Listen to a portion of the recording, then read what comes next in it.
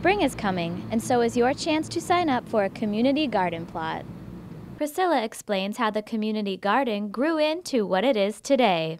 I have a Boy Scout who wants to do this, and I have a tractor, and then I had a volunteer group who said, I have 20 people, can, can you use them one day somewhere along the line? So all of a sudden these three things converged, and I said, I think we have a place in the commission, Conservation Commission had some conservation land that they had, that had been a farm, so that we wanted to create a community garden there. So uh, March 12th, which is a Thursday evening, we'll meet at City Hall on the third floor, and uh, anybody who's interested in the garden can sign up.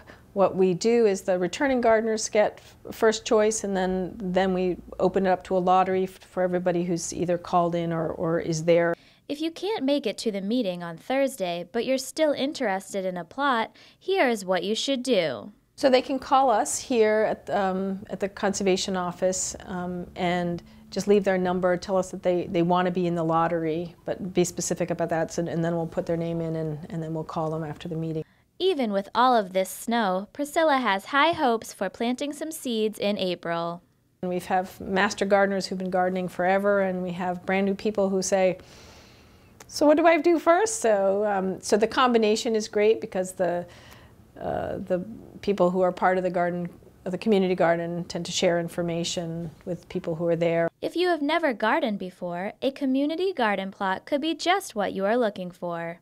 We usually target April 15th as the day that the soil is dry enough to be able to, to work.